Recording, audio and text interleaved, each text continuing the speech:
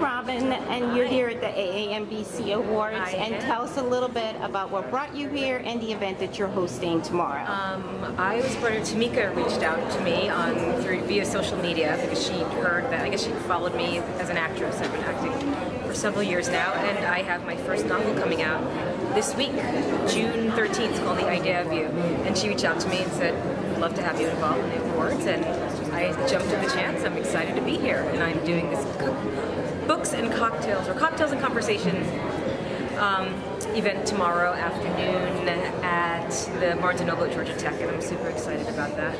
Outstanding. And tell us where we can follow you and also where can we purchase your book once it's out? We'll be, be able to get it on Barnes & Noble and all that good business. You can purchase my book, The Idea of You. It's available for pre-order now on Amazon and B&N and everywhere, but it will be available everywhere, the United States and Canada, as of Tuesday, June 13th. And you can follow me at Twitter at, at Robinne Lee, R O B I N N E L E E. Instagram at Robinne Lee, Facebook at The Robinne Lee. I think that's it. I got everything. That's it. Perfect. Thank you so much. We appreciate you. you